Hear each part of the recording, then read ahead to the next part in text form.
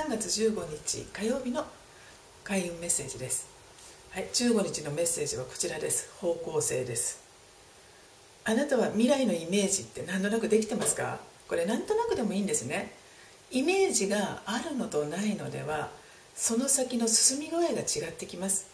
なんかね数年後どうなりたい？って1年後でもいいです。なんかそんなことを今日はイメージしてみてください。それではまた。